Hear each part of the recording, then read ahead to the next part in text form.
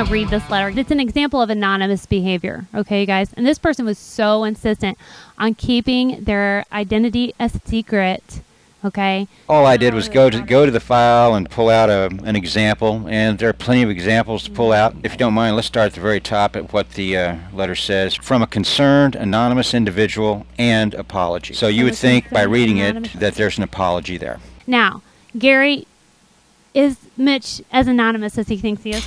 He's not near as anonymous as he thinks he is. We've uh, identified his Facebook page, his Google page, his Twitter account. All of them lead back to real names. Uh, I believe that Mitch lives in Utah. No, I'll, I respect his privacy, and we won't say where. I really don't care. But the bottom line is, people think that they're anonymous. It didn't take too much for me to download pictures from his page of him. Doesn't he say he's a student? He says he's a college student, and it appears from his pictures that he indeed could be. Yeah. You know, have his picture that's right not a that's not a problem. This is Um, Mitch. Anonymous Mitch. Not so anonymous. You guys think you're anonymous? You don't know anything. He doesn't really want to be anonymous. He just wants to slam the hammer and run. He wants to slam the hammer and run. It's a hit and run. Um, this is a warning to all of you anonymous people who have done things that are illegal. Okay. And by the way, uh, according to Facebook, um, what this guy did was illegal according to their rules. He was taken down. Um, some of you have done things that are illegal, um, period, slander. And uh, also, um, we've received a lot of threats, and we've had people try to carry those threats out. Okay. All of you people who think that you're hiding in the darkness, Please understand that this is what Jesus said.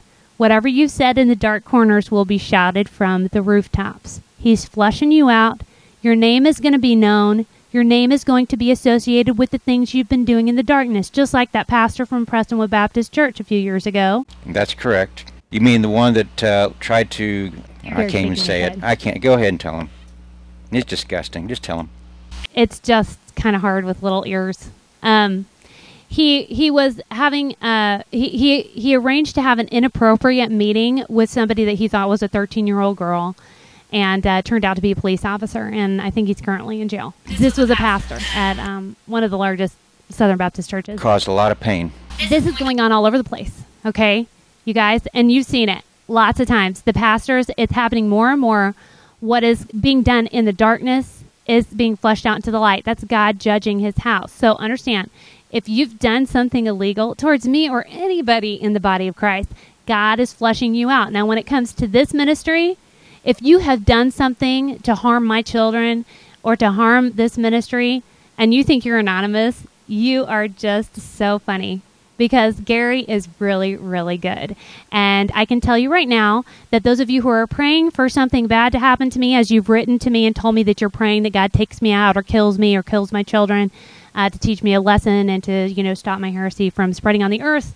Um, all of you people who are praying for something bad to happen to me, better put it in reverse and start backpedaling real quick because the second that something bad does happen to me, it's your name that's going to be in the file that the police officers are going to be checking out first, especially those of you who have opened up entire forums dedicated to hatred of me and my family.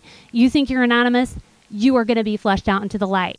And if you're one of those people and you've just, you know, slandered us and made hate pages about us, I'd be praying that God will protect us because you're going to be the first ones on the list. And yeah, I've got your name. Mitch, I do have your last name.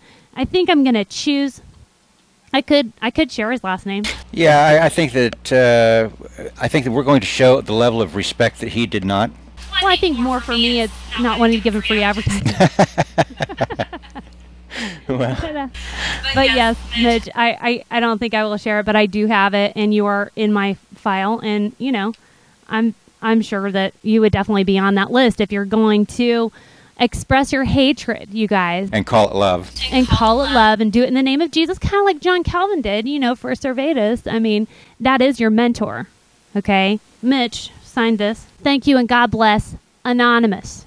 And that is an act of rebellion because he is saying, you know, Sure it is. I, I disagree with your video that says that God's word says I need to use my real name on YouTube. Um, that's extremely immature. Okay, you need to grow up. All of you guys, I'm talking to all of you guys who use anonymous. I mean, really, you try to teach the body of Christ and you're ashamed to use your own name. If you're ashamed, there is a reason. Either it's because you're in darkness or you're ashamed of Jesus. So which one is it? Probably both. Okay? You guys that think that you're anonymous, you better watch out because God is going to flush you out into the light. And there's a lot more out there about you than you know.